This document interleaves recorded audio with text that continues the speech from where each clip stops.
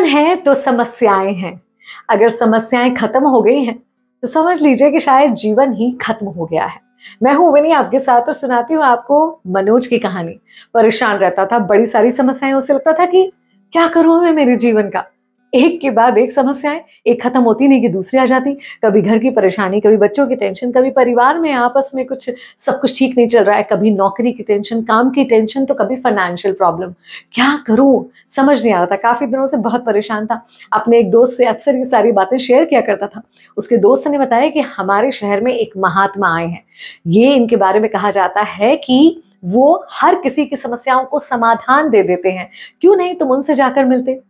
बहुत उम्मीद लेकर मनोज उनके पास पहुँचा। और वहाँ वहाँ जाकर उसने देखा कि यहाँ तो बहुत सारे लोगों की भीड़ लगी हुई है।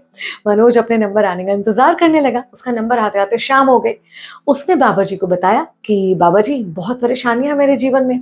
एक खत्म होती नहीं है कि दूसरी आ जाती है। और कभी कभी तो पहली भी चल रही होती है, दूसरी भी आ जाती है। एक साथ कई सारी समस्याओं में घिर जाता हूँ, वगैरह वगैरह। ये सब कुछ सुनने के बाद महात्मा जी ने कहा कि, ठीक है, मैं तुम्हें समाधान तो दे दूँगा, लेकिन तुम्हें मेरी एक बात माननी पड़ेगी। आज रात हमारे काफिले के साथ ही रुक जाओ। हमारे काफिले के साथ सौ ऊँट आए हैं। तुम्हें मेरा एक काम करना होगा। करोगे? अब समस्या का समाधान तो चाहिए था तो उन्हें कैसे मना कर सकता था? इसने फट हाँ कह दिया। उन्होंने कहा, काम ये करना होगा कि मेरे जो सौ ऊँट हैं, जब सौ के सौ ऊँट बैठ जाए, तब तुम सो जाना। बस इतना ही करना है तुम्हें।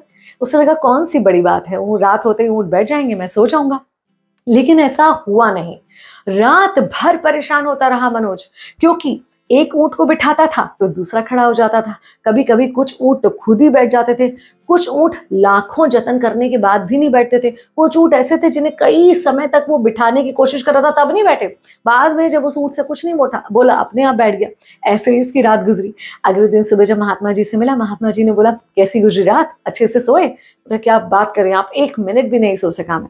उन्होंने पूछा, क्यों? इसने बता दी फिर सारी बात कि भाई, आपके सारे ऊँट एक साथ बैठने को तैयार कहाँ थे? एक बैठता था तो दूसरा खड़ा हो जाता था। अभी जिसको बिठा के आए हूँ, वो खड़ा हो जाएगा। कुछ ऊँट ऐसे थे, लाख कोशिश करने पर नहीं बैठ रहे थे, कुछ खुद ही बैठ जा रहे थे, वगैरह वगैरह। महात्मा जी ने कहा, ये जो ऊँट है ना, ये जीवन की समस्याओं की तरह होते हैं। हर समस्या अपना निश्चित समय लेकर आती है। कब उसे खत्म होना है वो हो जाएगी। कुछ समस्याएँ आपको लगेगा आपके हल करने से खत्म हो गई हैं। कुछ समस्याएँ खुद ही खत्म हो जाएँगी। कुछ समस्याएँ ऐसी होंगी कि जिनके लिए आप हल ढूंढ रहे होगे, ढूंढ रहे होगे, नहीं मिलेगा। और एक दिन वो स्वतः ही सॉल्व हो जाएँगी।